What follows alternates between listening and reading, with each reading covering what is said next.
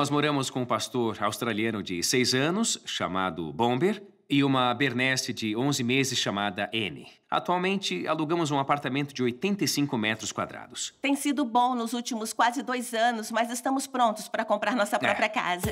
Frutas e frutos do mar não combinam, amor. Combinam sim, é para sobremesa. O nosso orçamento é de 400 mil dólares. O orçamento máximo seria de 410 mil.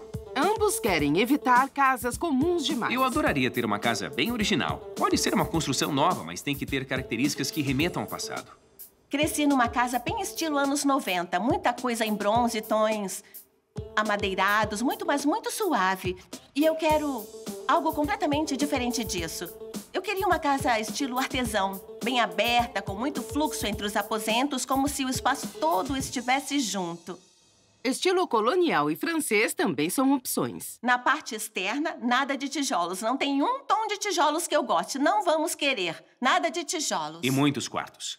Muitos quartos. Quatro no mínimo, mas seria ótimo ter uns cinco. Adoraríamos ter um espaço para quando tivermos filhos, mas quero também um escritório.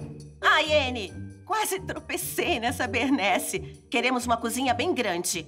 Eu odeio essa cozinha. Não tem nada nessa cozinha que eu levaria para outra casa e que de fato compraria. Adeus para os aparelhos brancos. E essa pia aqui? Vamos falar sobre a utilidade dessa pia. Ela é tão rasa que não dá nem para lavar louça. Fica tudo se batendo. Uma pia funda, forno duplo e uma ilha seria o ideal.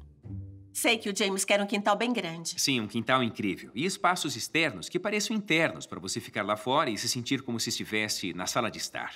Um lugar onde possamos descansar no sofá, ver filmes e comer pipocas. E um chuveiro grande, um lugar onde eu possa me espalhar à vontade. E se não tiver banheira, é melhor ainda. Eu sou um cara grande. Esse espaço aqui não é bom pra mim. Não dá pra tomar banho aqui. Eu me sinto como um Gulliver lá dentro.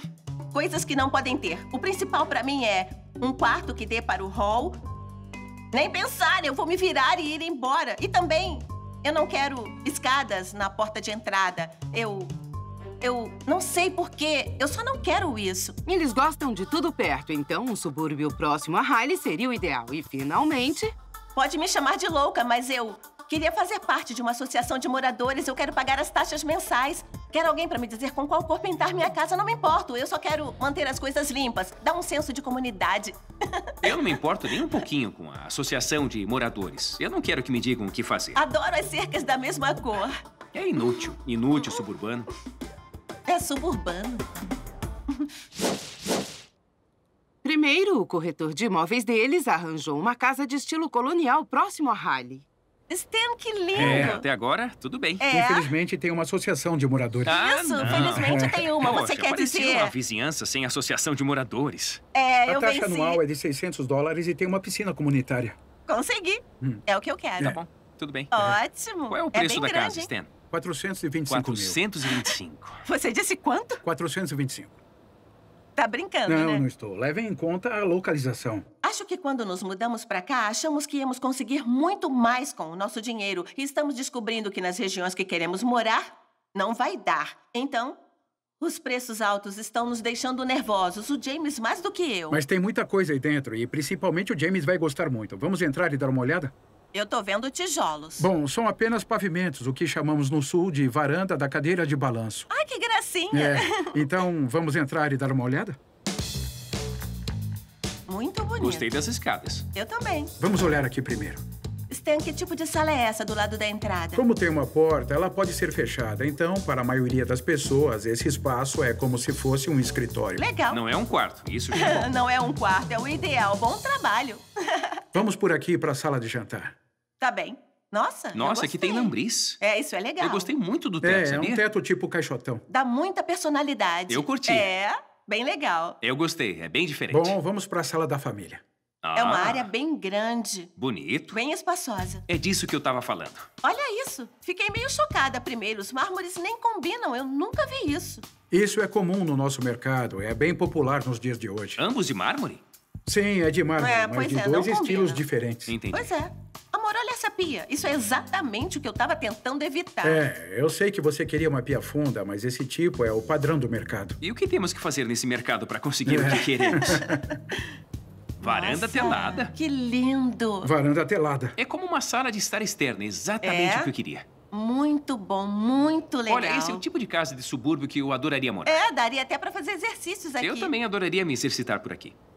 Lá dentro, eles sobem para ver a suíte principal.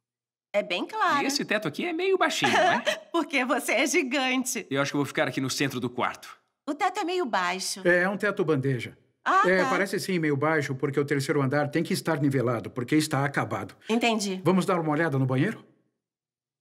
Eu estou vendo uma banheira. Tá bom. O copo tá quase transbordando agora. Olhem esse chuveiro enorme. É, esse chuveiro é bem legal. É bem legal, na verdade. Você tá certo. Mas a banheira ainda tá ali. Eles seguem pelo corredor para ver o banheiro de visitas e dois quartos. É um tamanho É ótimo bonito, para um é. quarto de criança. Bem maior do que eu tinha, maior do que temos agora. Vamos para o outro quarto, ou o quarto dos jogos. Ou o que esse quarto pode ser? Quarto da Quarto da pipoca. pipoca e dos filmes. É um ótimo espaço. É enorme. Eles sobem para o terceiro andar para ver a suíte das visitas e o quinto quarto. Pra mim, a coisa mais marcante dessa casa foi aquela varanda telada. Uhum. E também tem um quintal grande, uma vista para a floresta. Eu adorei isso. E muitos quartos para a nossa futura Uhum. família. A cozinha era muito bonita, grande, mas talvez não seja tão descolada, mas as bancadas de mármore de cores diferentes, sei lá. Não tenho certeza, ainda não, mas é, quando eu olho pra essa casa, eu consigo imaginar a gente vivendo aqui. Com certeza. E a vizinhança já está estabelecida, mas esse preço é que tá me matando, cara. Tá no limite máximo do nosso orçamento.